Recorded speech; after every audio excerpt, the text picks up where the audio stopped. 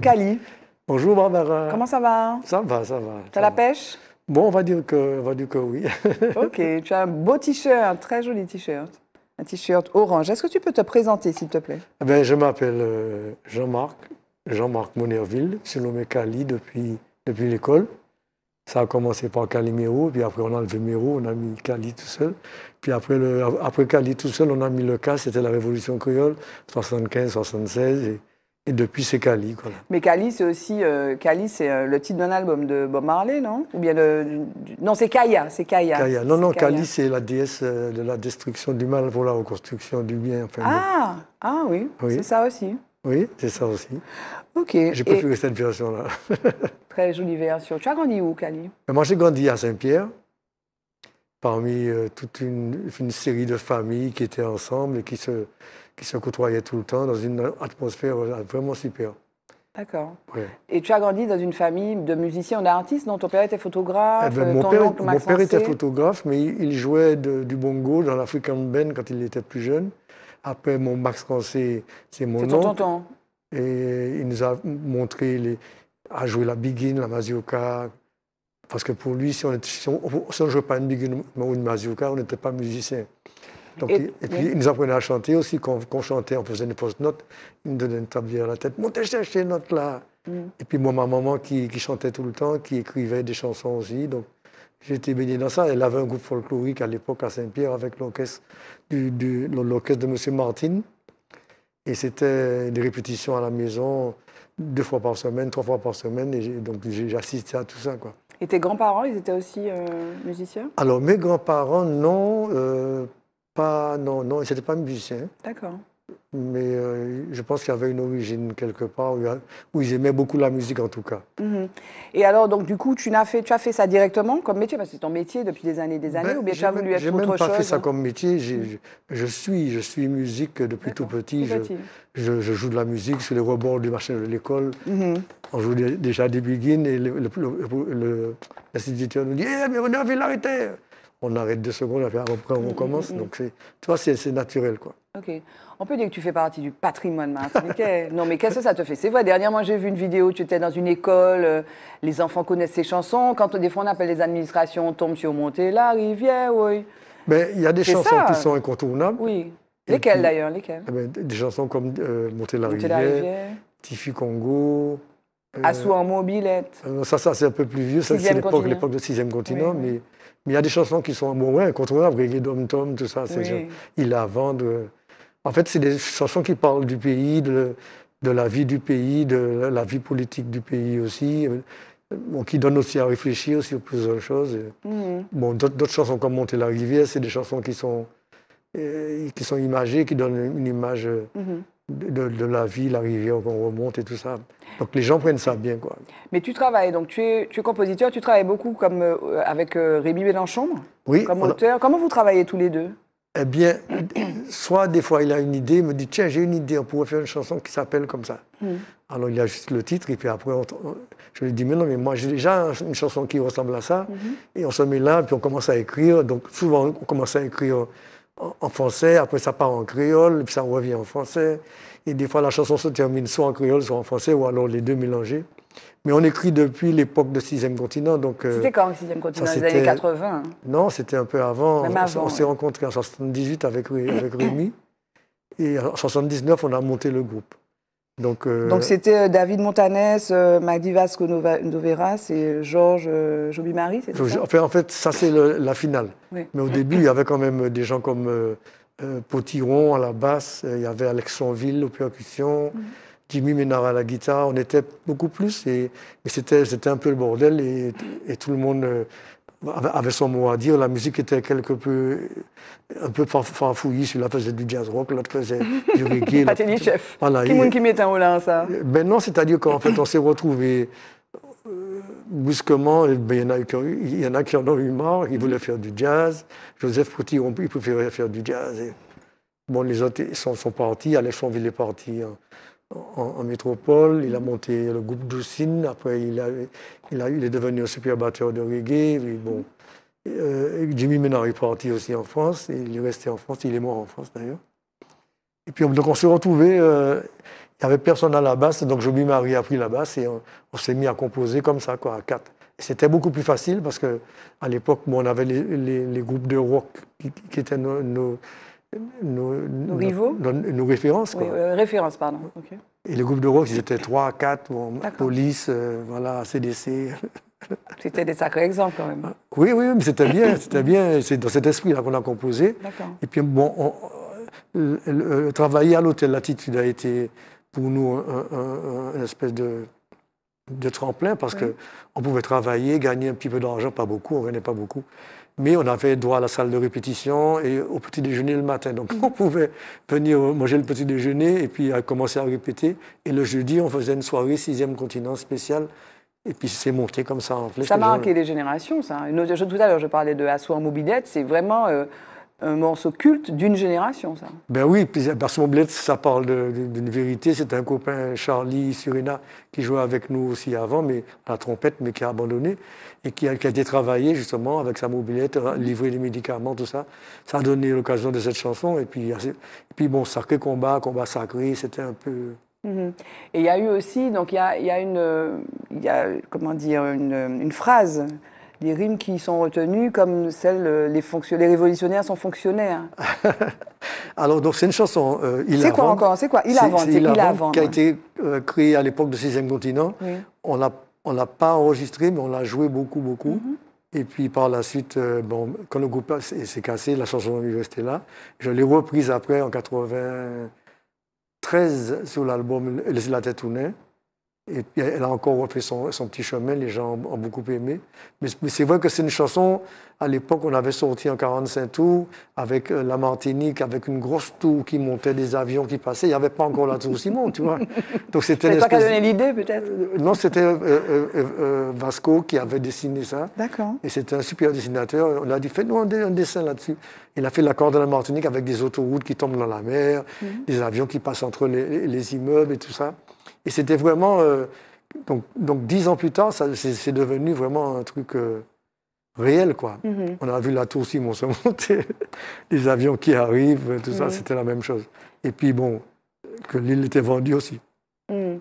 C'est le constat, parce que donc ça a toujours été une musique militante, tu dis, donc tu, parles c'est une musique militante. Quand même, Après, il y avait un environnement qui était aussi les années 70-80, c'était, c'était Rastafari, c'était Bob Marley, c'était, c'était, c'était les Locks aussi pour certains, qui, qui se laissaient pousser les Locks. C'était une revendication de quoi? Du, La volonté de vivre autrement?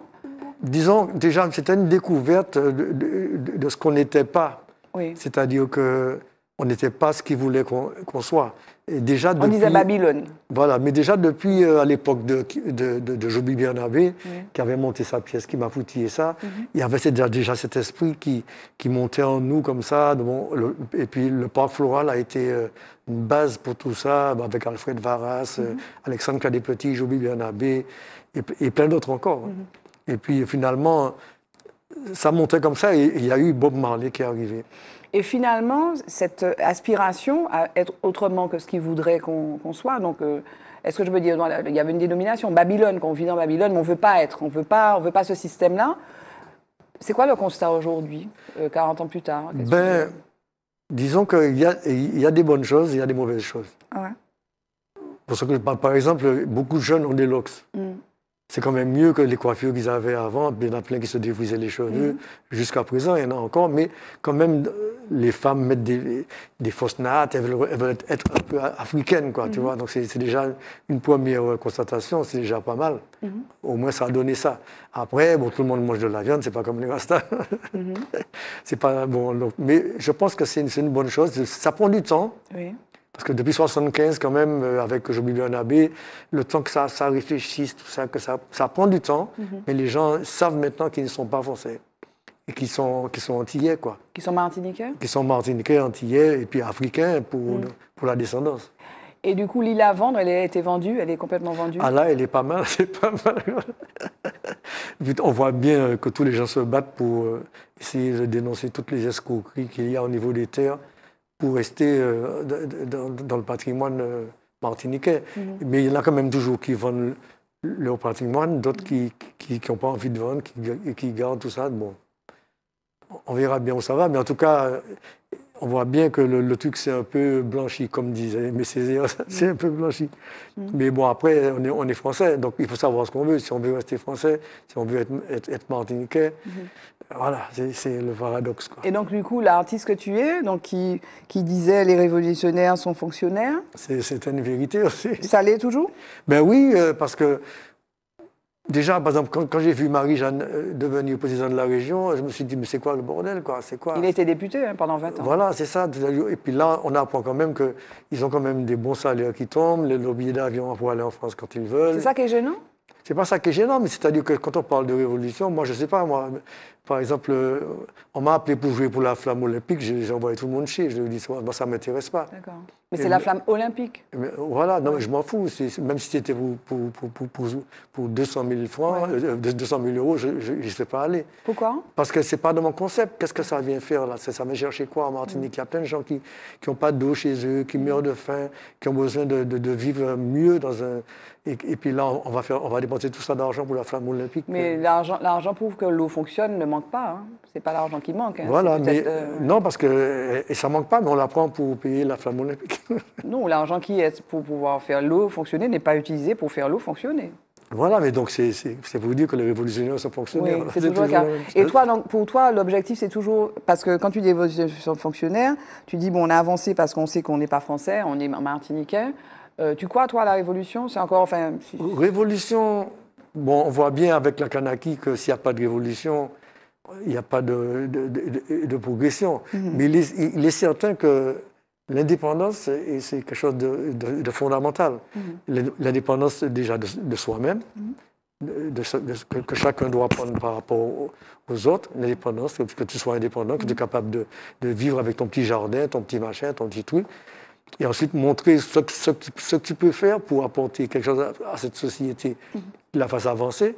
Donc forcément, je suis pour l'indépendance. Mhm, mhm, Mais bon, mhm. c'est pas aujourd'hui qu'on va y arriver tout de suite parce que, parce que bon, ça prend un temps. Ça il faut que les gens comprennent, il faut que les gens...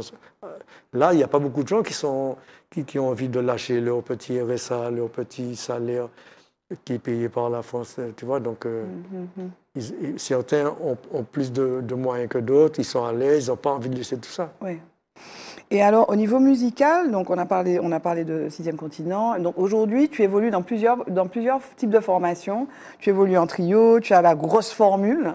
Donc vous êtes neuf. Tu as aussi en, tu as aussi en duo avec Jessica. Euh, et, ben, on est en trio avec euh, Patrick et Charlie. Mhm. Des fois, c'est avec, avec Tiken. Bon, là, on est en, duo avec Jessica parce que ça, fonctionne. On a trouvé un petit, euh, une formule Une petite formule qui fonctionne, surtout chez les particuliers, mhm. dans, les, dans, les, petits clubs tout, petits. Bon, ça, elle aussi, elle a son, sa façon d'expliquer les choses, de chanter mhm. les choses. Donc, euh, ça nous permet aussi de vivre parce qu'il faut vivre. Il faut vivre. Et jouer à neuf, c'est de plus en plus compliqué. Mhm. Euh, souvent, jouer à neuf, c'est on joue pour les municipalités qui sont elles-mêmes financées par la CTM.